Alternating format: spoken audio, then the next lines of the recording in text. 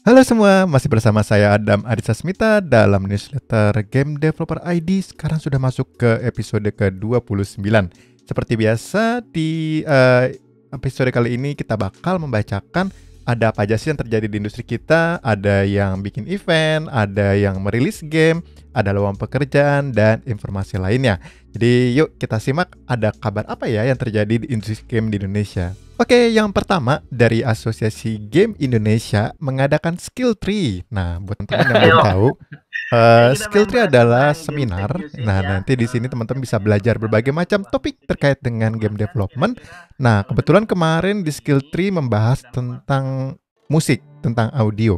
Yang mengisi ada Jason, Uh, dia juga dosen ya. Nah, jadi ini menarik banget buat teman-teman yang terkait tertarik dengan dunia peraudioan dalam game bisa cek di Skill Tree episode ke-25 ini untuk belajar-belajar.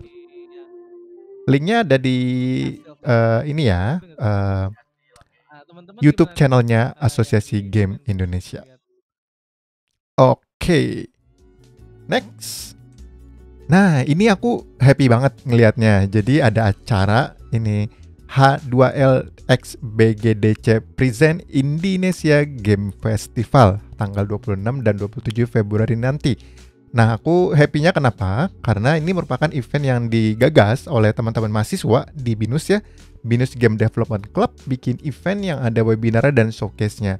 Menurut aku ini acara uh, seru banget dan ini perlu lebih banyak lagi event-event yang diadakan oleh mahasiswa ya yang seperti ini karena ini penting banget untuk mengasah teman-teman yang baru mau belajar, teman-teman mahasiswa dan memberikan stage agar bisa show off, bisa mendapatkan feedback di dari game-gamenya. Nah ini ada webinar yang nanti akan diisi oleh teman kita, ada Boy di sini dari eh, Joyset. Ini salah satu yang bisa dibilang rising star di dunia mobile saat ini karena kemarin gamenya ada yang menang best casual game dari Google Play. Kemudian kalau kita ngomong game buat PC konsol indie, siapa lagi kalau bukan Toge Production? Ini ada Chris Anthony dari Toge Production yang bakal uh, sharing juga mengenai how to build audience for your game. Jadi teman-teman uh, silakan daftar ya untuk mendengarkan webinarnya dan nanti juga ada expo-nya. Nah, aku juga penasaran bagaimana cara mereka setup expo-nya secara virtual. Tapi ini event yang bagus banget buat kita bisa ngeliat game-game yang dibuat sama teman-teman mahasiswa. Jadi ini sudah ada ya linknya di Eventbrite, teman-teman bisa daftar dan langsung dapetin tiketnya di sini. Alright. Next ada event apa lagi?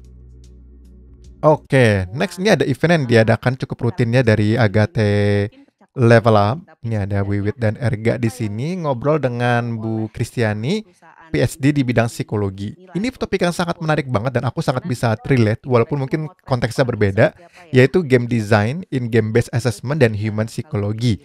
Kalau di video kali ini, nah di sini ada deskripsinya ya.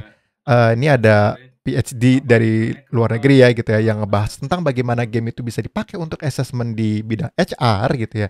Nah, ini menarik banget nih gimana mereka mencoba mengakses karakter uh, kecocokan seseorang dan culture perusahaan itu menggunakan game. Kenapa aku tadi bilang aku relate? Karena kalau di company ku di Arsa Kids, kita juga melakukan hal yang sama, tapi bedanya kalau kita fokusnya di anak-anak, terutama anak-anak usia dini. Dan ini materi yang dari Agatha Level Up ini sangat penting banget buat teman-teman yang tertarik untuk eksplorasi. Kira-kira game itu selain untuk hiburan, bisa dipakai untuk apa lagi sih? Atau kita biasanya sebut serius gaming, atau di sini bisa dibilang gamification. Jadi teman-teman silahkan juga explore area ini yang menurut aku ini sangat terbuka banget peluangnya untuk teman-teman masuk ke dalamnya. Itu tadi beberapa event yang terjadi selama seminggu ke belakang. Next aku akan share ada rilis game. Nah, ini yang paling seru nih biasanya. Yang pertama, ada rilis game dari Choco Art. Waduh, Choco Artnya aku udah lama banget nggak dengar kabarnya. Ini saat ini mereka bikin mo uh, mobile game nih ya. Mobile game judulnya uh, Patriot Cilik Dash. Nah, ini Patriot Cilik Dash ini merupakan game side scrolling ya, running gitu ya. Petualangan menyelamatkan ibu kota ya, dari ancaman banjir dan berbagai rintangan di jalan. Nah, ini sepertinya belum ada videonya. Jadi kita bisa lihatnya ini genrenya mirip kayak game-game ala-ala apa ya Subway Surfer, Minion Rush gitu ya, tapi dibikin jadi 2D. Dan game ini uh, bekerja sama juga dengan Bumi Langit. Uh, honestly aku kurang apal ya sebenarnya kar uh, apa karakter-karakter yang ada di universe-nya Bumi Langit. Tapi sepertinya ini adalah bagian dari universe tersebut which is nice banget ya kalau misalkan Bumi Langit bisa melakukan multiple medium ya. Jadi ada filmnya juga ada gamenya juga itu keren banget. Seperti yang dilakukan oleh uh, Marvel dan DC ya tidak hanya di medium film tapi juga di medium game. Oke itu dari Choco Arts. Ini sudah tersedia di Google Play teman-teman bisa langsung install next ada rilis game wah ini ini gokil sih pas aku ngelihat gambar ini Stella Stella Gale The Trials of Fate dari Extra Life Entertainment. Ini oke okay, kita tonton videonya. Kita kita baca dulu ya gamenya tentang apa terus aku juga tertarik banget buat lihat uh, ininya gamenya. Karena pertama ngelihat kayak wow ini artnya nice banget, warnanya vibrant gini 2D hand drawn battle arena with heartwarming stories. Dan ini lihat nih teman-teman ada yang pakai kursi roda gitu ya. Jadi ini sepertinya cukup memberikan uh, kesetaraan buat yang disability kayaknya. Oke jadi Stella parents are missing when she was child leaving her brother. Ini ada karakter-karakternya naratif driven ada storynya. Unique combat system ada empat weapon available ya. Oke item equipment system. Ini enemy arena. Oh jadi ada obstacle-obstacle lainnya terus replayability ya ini ada uh, timnya ya oke okay. um, yuk kita lihat videonya yuk ya musiknya rock and roll gitu ya oke okay. ini karakter-karakternya ya ada yang alchemist ada yang archer oh ini kunai ini yang di kursi roda Wis. Action game with heartwarming storyline. Nice. Oh, hack and slash gitu ya. Sip. Cap cap cap. Oke, ada yang di atas. Uh, ada skillnya. Oke. Oke, ini arena challenge-nya ada duri-durinya. Di atas tuh ada apa ya? Itu ada item ya, item yang bisa dipakai skillnya ya. Uh. Oke oh, satu karakter punya empat weapon yang di, bisa di master yang di atas tuh ya ada tombak. Cuk. Oh. Oh suruh ganti ke tombak kan. Wih ada pistol. Oke. Okay. wih. It's just the beginning brother. Wih ini spriting dia. Gokil sih.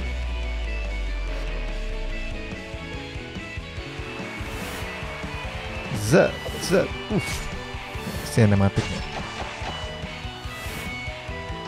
Fuh. keren banget. Pakai bom oh ini penjahatnya ya? Se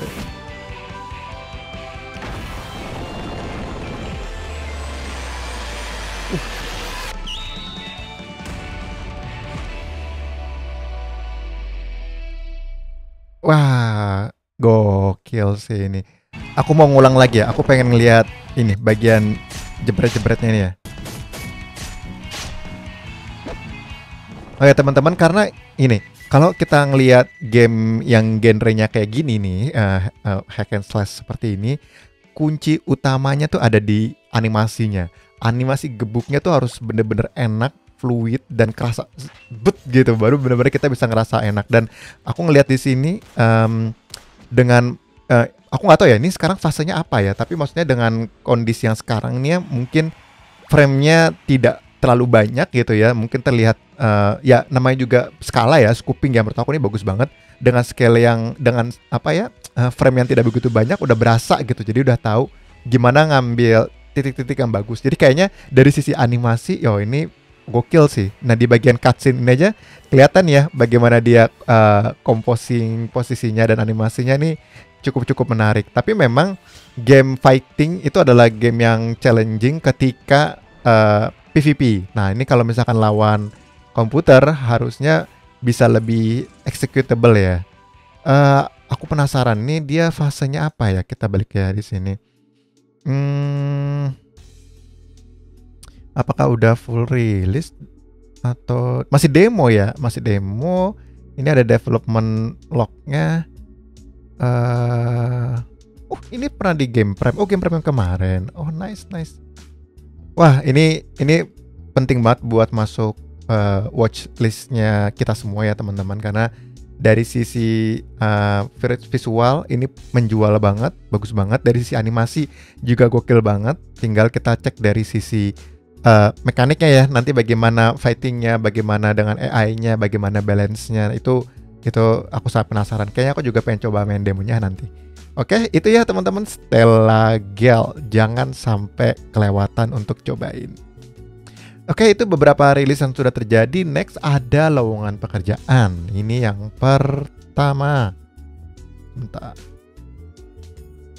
Ada lowongan pekerjaan yang pertama ini oh cuma ada satu ya. Dari Agate masih sama nih mencari freelance studi artis buat bikin karakter illustration. Kiniap work with art direction and brand guideline. Terus di sini ya uh, 2D animation referensinya Genshin Impact dan Atelier oh, Genshin Impact ya great interpersonal and communication skill able to work independently tidak perlu disurvisi strong attention to detail nah ini plusnya 2 tahun professional experience jadi teman-teman silakan kalau tertarik bisa uh, taruh CV Porto di sini. Ini dicari freelance ya teman-teman ya.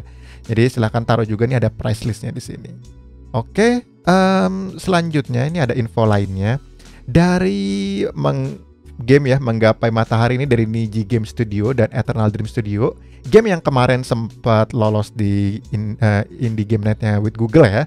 Ini lagi buka close beta game tahap kedua dibuka sampai tanggal 22. Jadi teman-teman yang pengen coba mainin bisa langsung masukin nama email dan nomor HP Nah, itu tadi kabar yang terjadi selama seminggu ke belakang, which is seru-seru banget kan? Jadi teman-teman jangan sampai ketinggalan kabar-kabar ini uh, rilis setiap Senin newsletternya di gamedeveloper.id. Teman-teman bisa subscribe di sana. Dan kalau punya berita yang mau di-share, baik itu punya event game, baik itu mau rilis game, punya lowongan pekerjaan atau event lainnya yang berkaitan dengan game, bisa langsung submit di gamedeveloper.id ya di situ ada form submissionnya agar nanti dimasukkan ke dalam newsletter gamedeveloper.id dan dibacakan di newsletter kali ini. Oke, kalau begitu kita bertemu lagi di video berikutnya. Sampai jumpa, bye bye.